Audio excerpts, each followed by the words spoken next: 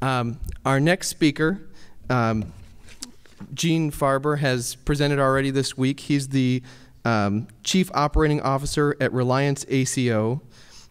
He's in charge of overseeing the day-to-day running of the ACO, which has grown from 14,000 beneficiaries to, in 2014 to over 37,000 beneficiaries in 2017. He led the effort to form a new uh, a new next generation ACO, Reliance Next Gen ACO, which was accepted into the program in 2018.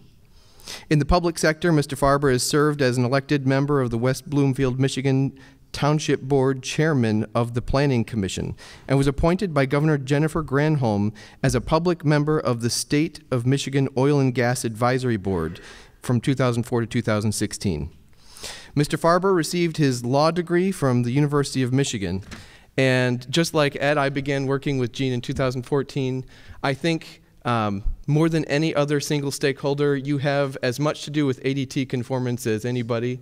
Um, Reliance was the first people who were really diving into the data and really you know, paying attention and say, hey, we can't tell consistently if this is inpatient or outpatient. And, and they were diving into the data. And so I um, really appreciate the, the, things you've helped MyHIN be able to accomplish. Let's give a welcome to Gene Farber.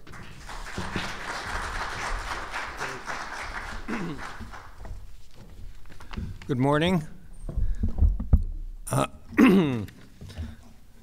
as he indicated, I'm Gene Farber. I'm COO of Reliance ACO. We're based in Farmington Hills, Michigan. I'm not a tech person, so I am going to give a non-technical explanation of what we're doing, um, how we're using MyHIN in our everyday operations and how Salesforce has come into it. Um, I think some background is really necessary to understand. As indicated, we started in 2014 as a physician-owned, physician-operated, physician-run, except for me, who's a lawyer, um, ACO. Uh, we had about 100 doctors and 14,000 Medicare beneficiaries. Uh, the kind of significance of this is we self-funded. And the way the shared savings program goes, if you save money during the calendar year, then they will tell you July of the following year if you were successful. So we're still waiting for 2017. And they will send you a check in either October or November, which means you have to have enough funds to go for 23 months which in turn means you have to be very careful on how you spend the money. Unlike um, a hospital system that, if they do billions of dollars in revenue, uh, $10,000 probably doesn't matter. Every penny mattered to us when we started. Uh, we've grown to the point where we have the two ACOs. We're starting a third next year. We'll probably have about 50,000 beneficiaries in five counties, Wayne, Oakland, Macomb, St. Clair, and Monroe. Um, when we first received the contract from Medicare, they award you the contract, they were late that year, about December 10th. And then on December 29th, they dumped 14,000 names, and doctors in text files, and that was it. That was all of the information that we were given. So we basically converted those into Excel files so we could at least read them. Uh, we didn't have any addresses. We didn't have any phone numbers. We had to scramble to get the doctor's offices to give us those. We had no integrated system when we started. Uh, we had a contract with a large national company that said they had worked with ACOs. And by March 1st, they told us they thought they'd have the system up and running by August. This obviously created a problem for us because the year would have been two thirds over. So I terminated that contract and uh, we looked at other sources. Um, at the same time this was going on, we were getting on more of an anecdotal basis when our patients went to the hospital, if they called their doctor before they went, or if one of their family members called. We tried to have some of our doctors who rounded see these patients. This was spectacularly unsuccessful. So at that point, our CEO, Dr. Nazmul Haq, remembered that when he was uh, part of the first iteration of ACOs called Pioneer ACOs, were done through the DMC in Detroit at that time. Uh, when he met in Washington, he was impressed by the health information exchange that the state of Massachusetts had. So he determined to look up if we had something in Michigan because at that point there was it was hospital based really there was no communications with the POs or certainly not with the ACOs. And because we were so small, uh, we were told to go through another group, and we chose SEMI. Helen Hill was our contact there, and Helen was a lifesaver. Uh, she got us up and running and working with MyHin, and finally, finally, we were getting information. But the question was, okay, we now have these HL7 feeds. The HL7 feed has a series of columns. The first column has the name and then the address, etc., and it is readable if you go through line by line, but it's not really usable. So we had um, looked at some off-the-shelf products that will translate it, um, and didn't really think that would do it for the ACO. We had had some contact with a vendor that was marketing to ACOs called Synaptic Advisory Partners. They're out of Baltimore.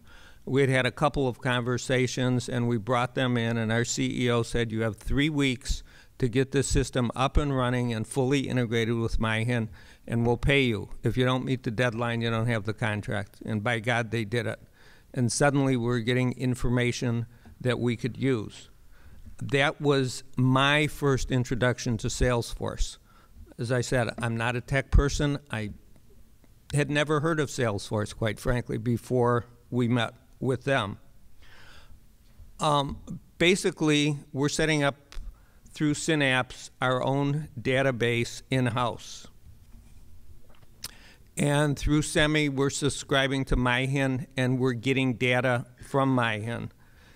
And as I indicated, the messages are not really readable, so they have to be converted. And Salesforce is very good at integrating seamlessly from MyHin using Synapse to give us a form that we can use. Uh, all the lines are broken out into usable stuff, so we have columns for the basic things like name, address, phone number, also the doctor, also the group, and anything else that we want to, whether it's the uh, patient identifier number or other things, we can set that up. It gives us the ability to build any kind of report that we need, which is very important because a lot of times we don't know what we're going to want to look at. And you've got to be able not to have just off the shelf reports. If you get that, that's great for a while, but it doesn't always work in the long run. Now, there were other products out there that vendors use. Certainly, Microsoft and Amazon and many other vendors have similar things to Salesforce, but their interface between the data and the user was much easier. And I don't know a lot about interfaces. I just know that anytime we try to do it, somebody has a problem with it, and it takes about twice as long as they promise us. So the ease of use was really, really important to us. Um, Salesforce also has excellent security. Now we're, we're dealing with PHI that is absolutely critical. Everybody hears all the time about data breaches, um, especially at our level. We can't do anything about it. We just have to choose the best vendor and we've done that, we believe, by using the Salesforce platform. Um, in addition, it's reliable. According to their statistics, they're up 99.98% of the time. I don't know if that's true. I just know that while our server has gone down sometimes, we have pretty good reliability. We've never had a problem where the Salesforce part of it has broken down. It also can be changed easily the kinds of things that we were doing when we had 10,000 beneficiaries as opposed to 40,000 has changed drastically over the years. And we've been able to use the same system um, and improve it without having to bring in a new vendor. So Synapse got us up and running, and we received the HL7 feeds. Now, one of the important things that we had to do was figure out what they really meant. I looked this morning before I came in. Yesterday, we received a total of 4,633 messages from MyHIN. Um, this included everything, so there had to be a way to sort those. Of those messages, over 900 said either admission, transfer, and discharge. But again, that's not sufficient because if somebody goes into a hospital for a blood test, some of the hospitals treat that as an admission and will code it to MyHIN as an admission. And when you finish the blood test, it's coded as a discharge from the hospital. It's not a true discharge. So you have to go in and look at some of the other codes that are in there in order to filter it out. It was not an easy process. Um, we continually look at it to try to improve it, but it works most of the time on a very, very large volume. So now that we had it and we have a system, um, the kind of topic I wanted to talk is how we use this in our risk management. So one of the things we do is we monitor the HL7 feeds from 7 a.m. in the morning till 11 o'clock at night, Monday through Friday, and on Saturdays from 9 to 1. And anytime one of our patients in the ACO hits the hospital, we're notified. If, if you recall the last um, slide that was shown up there showed how it went to the hospital and then went to MyHIN. Well, MyHIN has a list of our patients that we upload monthly, and if it matches on the patient list, then we get the notification. And that's, that's how it works. It's, from our point of view, as simple as that. So it allows us to call the hospitals and find out if it's a serious condition and not serious condition, and if some the patient can be discharged or if they have to be kept for a long-term stay or if they can go to observation. Um, another part of this, which really doesn't have to do with uh, MyHIN or Salesforce, is that it's we have spent a great deal of time working with the hospitals so that when we call, they will take the call and they will take the information. Um, some of the hospitals will allow us to upload our patient list to match it, and they've identified our patients in their system so that when we call, they will uh, understand that it's one of our patients. Now, does this work 100% of the time? No. Are there some doctors when we call say we don't care who you are and hang up on us? Yes, that's the real world. But after five years, we have a lot more cooperation than when we started. Um, we've also used it in terms long term for risk management. Now, there's a lot of different theories on how you risk stratify the patients. Um, a lot of the literature looks at the HCC codes or the risk factors. We ran those against our actual hospitalizations and did not find a good correlation.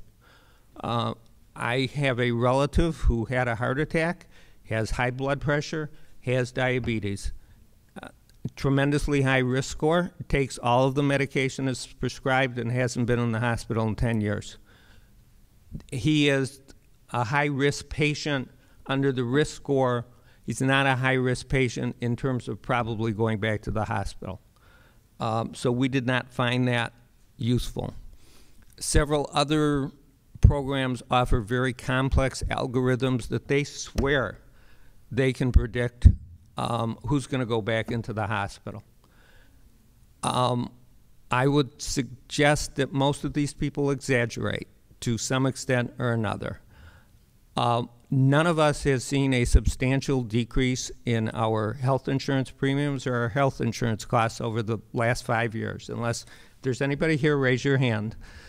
But uh, as a practical matter, these programs aren't can't predict 90% of the time or 80% of the time, or if they did, we would really see a substantial drop in the number of unnecessary hospitalizations. What we found was um, looking at cost alone also didn't work. A person could be in once for a heart uh, surgery, very expensive. They recover, they're never going back, hopefully. A person could have knee replacements, also expensive, but something that is not repeating. We found, at least in our group, that a very simple correlation of if a patient is in the hospital three times in a year, they're probably going to continue going, or two times in six months, you've got a patient with a problem. I know it's simple. I know it doesn't meet all of the algorithms, but by God, it's been effective. So that kind of loops back to MyHIN, because if we waited for the claims information, it's too late. We receive claims information approximately 90 days late. Um, hospitals and doctors have, the, in their normal cycle, often take that long. So we rely on the ADTs to know when the patients are in the hospital. And our program now automatically will um, select a patient who has met this criteria and send an alert that this patient is what we call a tier three patient or a complex care patient. And we don't have to wait till we get the claims at the end of the month. If somebody is uh, goes in in January and we get that claim in April and they go in in February and we get an ADT and they go in again in March, based on the ADTs without having to wait the claims, uh, that we're getting from MyHIN, we will automatically make that patient a tier three patient. We also do, however, compare it against the claims because, as noted previously, some of the people will go into a hospital in another state. Especially, we have a large number of snowbirds. Um, we don't have any interface with Florida, so we can't ever get those claims and there's always a matching problem that we're going to have until we get a universal identifier that if the hospital puts in a middle initial and the patient according to Medicare doesn't have a middle initial or vice versa we're not going to get a match so we get about 70% of all um, hospital admissions and discharges are will correlate with MyHIN 10% there's absolutely nothing we can do about. The other 20% we keep working with MyHIN and seeing if we can improve the matching function over time. All of these complex patients of ours are assigned to care coordinators. These are nurses. They will call the patients on a monthly basis. If the patient is having an unusual problem, then we will send out a nurse uh, if a patient needs to see a doctor but does not have transportation, we have a contract with Lyft. Uh, we'll send a Lyft to their house and take them to the doctor.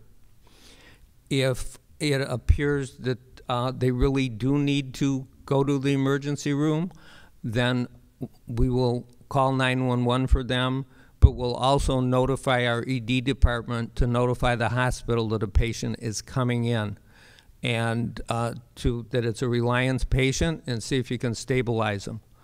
Um, uh, there are times also when the care coordinators will call the doctor's office if the patient has been having problems getting through.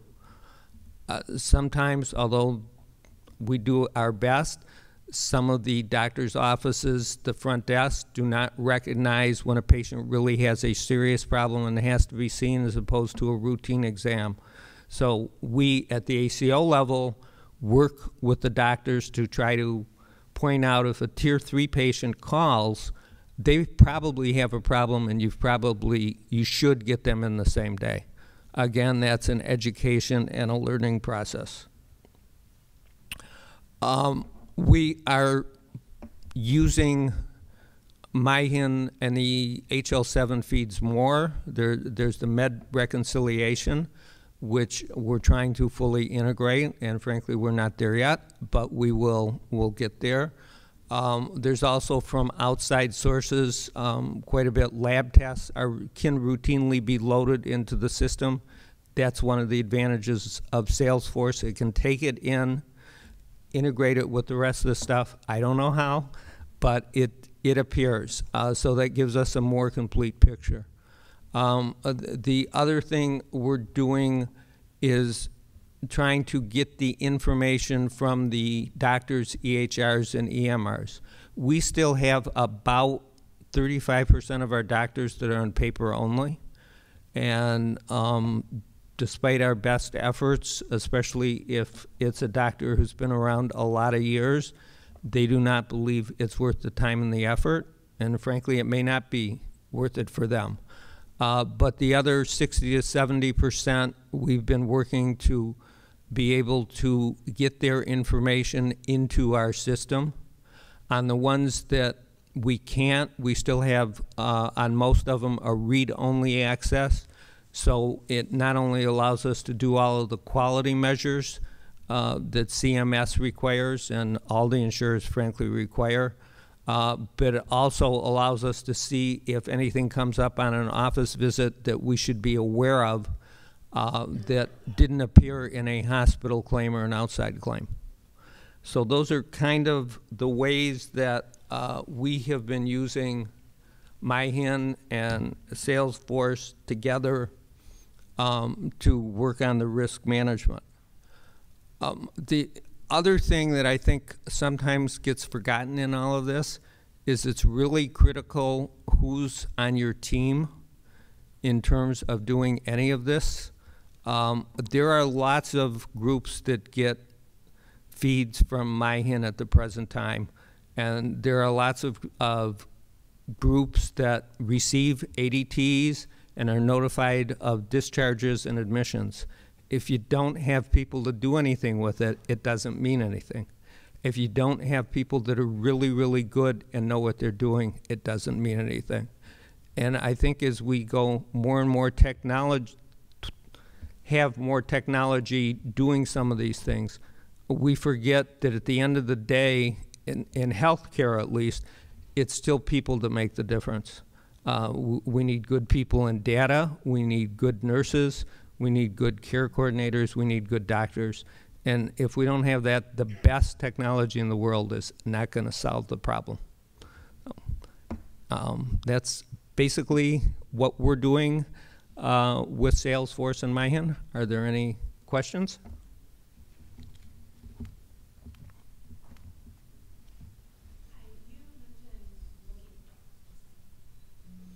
Um, you mentioned looking at hospitalizations and that cutoff to identify high risk patients. Are you doing something similar just for ED visits, or are you kind of grouping those together?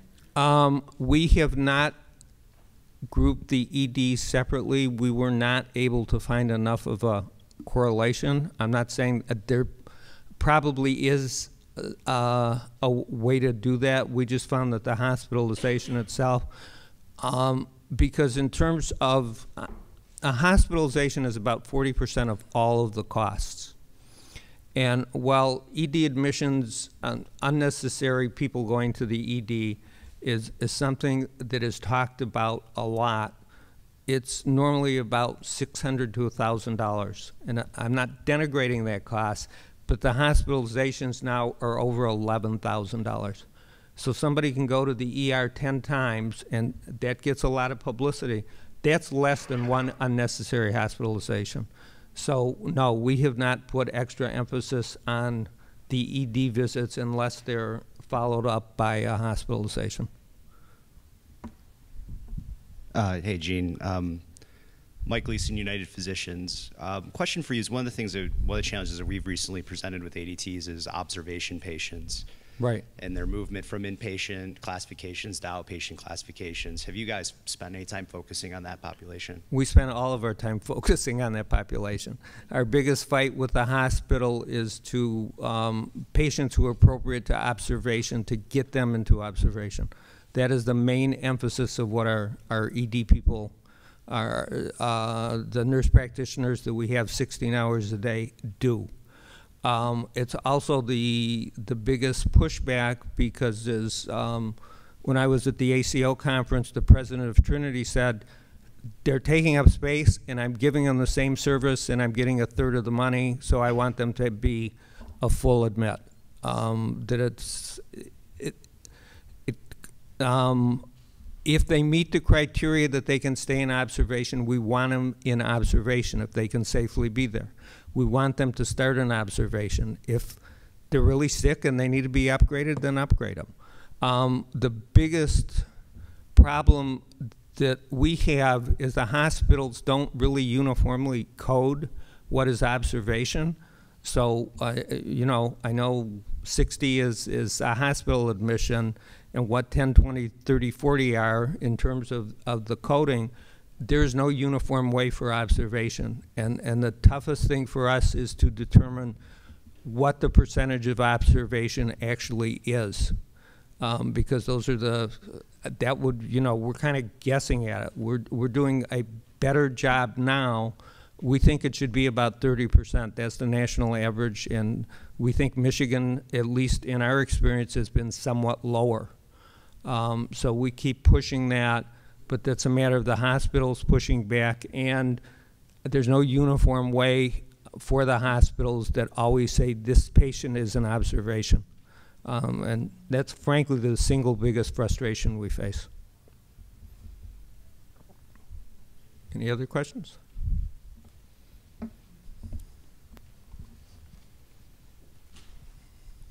So obviously, the ADTs, the ADT feeds is what's going mainly into Salesforce. And you said it's integrated with some other systems. Um, the things that you're getting through uh, claims data, like regular doctor's visits or things outside of the hospital, um, is that going into Salesforce at all, or is it just going to those other systems and Salesforce has some integrations? Well, Salesforce integrates the informa- all of the information that comes in from the claims feed, so it works in our system. So it, it's the platform that our system is, is built on. Gotcha. And so, my next question is,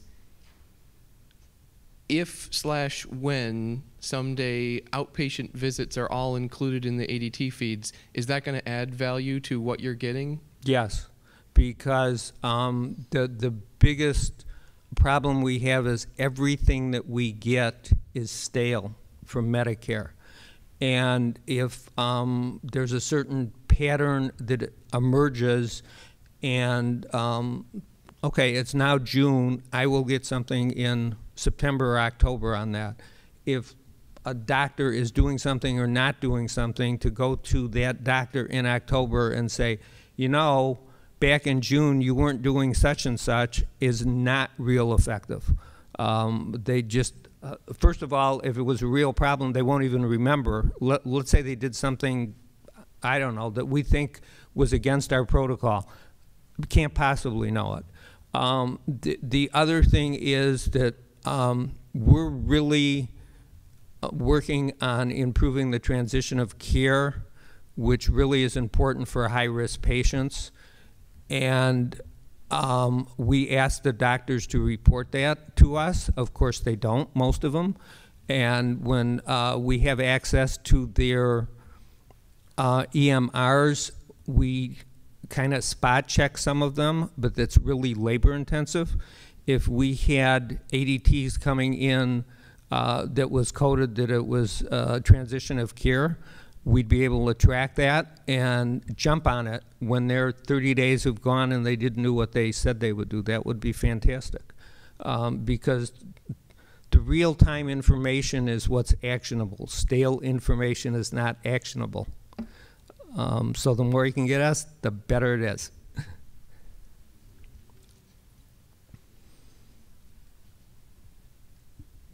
So then, as an ACO, do you are, are, do you have incentives to help the individual POs set themselves up to begin sending the ADT to MyHIN? So, I mean, we, we have a couple of examples of POs who are going down that path, but you know, it's it's difficult. Okay, but we're not a PO. We're no, the- no, I know you're not, but the uh, the physician the physician organizations We that participate in that Right, part but it, yeah. we, I mean, we get the ADTs and we transmit information to each of the offices. So every time somebody is admitted, we notify the office. Right. I, I'm, you know, I agree with everything you said about the value in having offices who are not part of a health system send their ADT up to MyHIN. But there's Yes. some there's barriers for them to do that, and I was just curious what you thought about the ACO's role in helping to mitigate some of those barriers. Or? Um, as a practical matter, the way it's set up, I think it would be too expensive um, to to get down to that granular level. But um, things keep changing, and uh, you know, new ways come up. Um, we have a lot of single one or two doctor offices. There, there is no way that they are easily in, in less everybody agreed on an integrated EMR and we could send it from a central source. On the other hand, we have one, two, three practices that have over 40 doctors apiece. They could very easily um, send it to a central fort. And those three doctors would be about 30% of the ACO. So in, in that sense, um, yeah, I, I think we can we can accomplish a lot even though it will be with fewer groups. No, I don't think we can get down to the individual level.